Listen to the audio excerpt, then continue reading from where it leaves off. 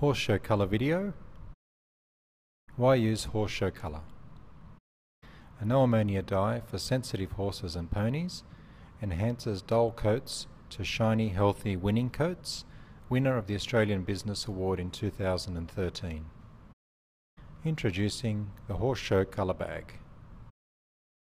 Inside the colour bag, you can now use the colour bag to hold the colour, but the contents are 10 tubes peroxide, shampoo, conditioner, oil, and all the other bits required to fulfill the colour. The disclaimer for the video is to demonstrate how our colour can change from a light tone to a dark tone. The purpose is to show how the product works. Before colouring, conduct a patch test 48 hours prior. Colour will stain, wear appropriate clothing and wear gloves and you can protect the white areas with a treatment or conditioner during colouring. To conduct a patch test, simply place the colour on an area that's sensitive on the horse and give it 15 minutes to see if it reacts. Protecting white areas. To protect white areas, simply place horse show colour treatment to avoid any staining from colour which may run into those areas down the track. For optimal results, we recommend the following. Clip at least one week before dyeing to allow the skin and coat to recover. Wash out any clipper oil, hot oil treatments from the coat as it will affect the coverage. Ensure the horse is cool and not sweaty. Take rugs off 15 minutes before colouring. We cannot guarantee results if your horse or pony is under medication. And grab a friend as twice as many hands gives you half the time. Mixing. Nicole's placed the tube squeezer at the end of the tube and is rolling the tube squeezer down the tube to squeeze the content down into the bucket. Each tube is 100 grams, so it's important that you can squeeze as much of the content out as into the bucket so that you can maximize the coverage on your horse. So for today's horse, Nicole will be doing 10 tubes. Uh, just as a rule of thumb, the lighter the coat, the more color that you'll be required to, in order for it to go darker. Next, Nicole will place the content um, of peroxide, 10 volume peroxide, into the bucket. So it does have a tamper-proof lid, so once you remove the lid, pour the 10 vol into the bucket. Uh, mix, generally the, the 10 vol is measured according to the number of tubes. Example, 1 litre, 10 tubes. Place the oil in one inside. So long as there's a minimum of 20 mils per application, that's sufficient. Then with the paintbrush supplied, mix the oil-in-one, the peroxide and the colour until you come to a smooth consistency. That's it. Application. As you can see, follow the dots from 1, 2, 3, 4, 5, 6, 7, 8, 9, 10 from the back through to the neck, down through the points. This ensures that the colour on the heavier parts of the skin remain longer all the way down through to the finer points which need least colour. Body application.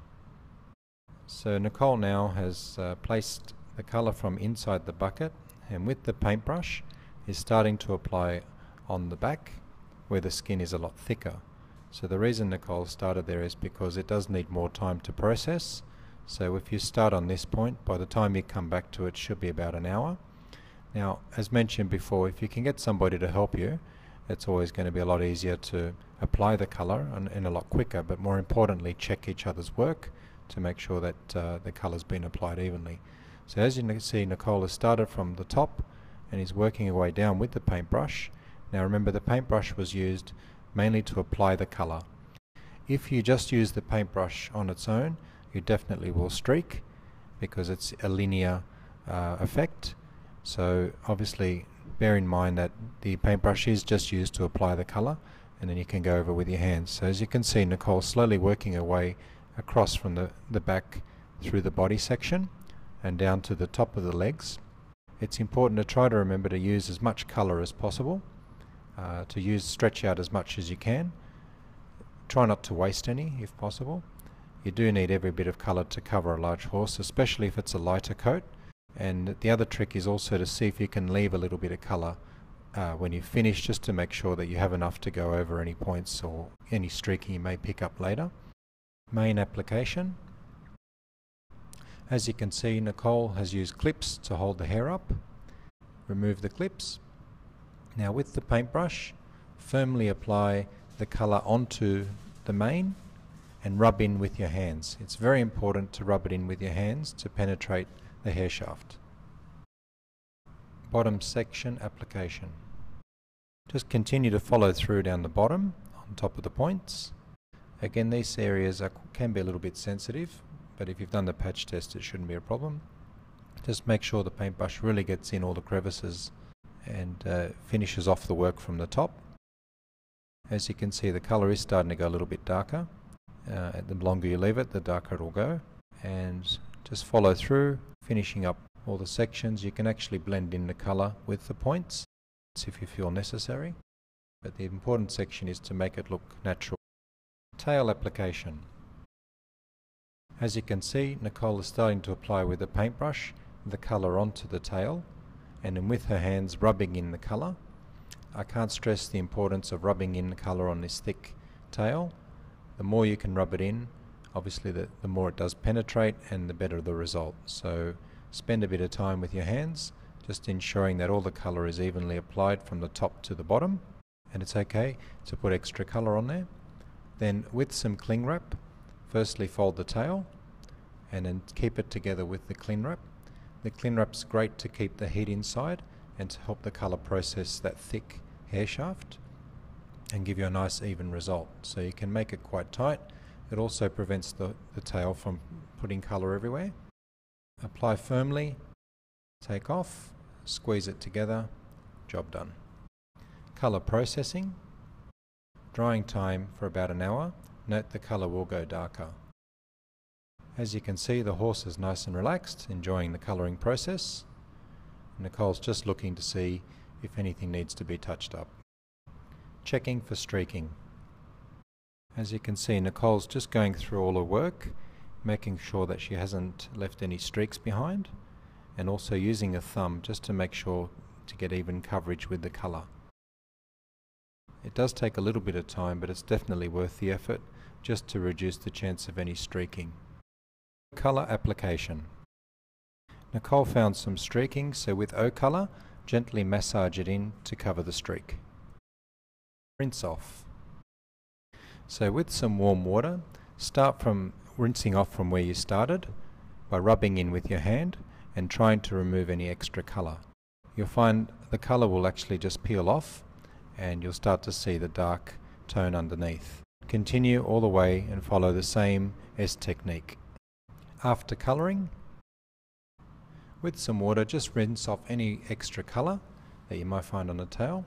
Today we'll be using horse show colour protein treatment. Grab a nice handful and rub it right into the tail, just like you did with the colour. The objective here is to make sure you get the treatment onto every hair shaft. The important thing is that it will penetrate into the hair shaft and fix any damaged hair to give you a nice shine and even out the, the hair shaft.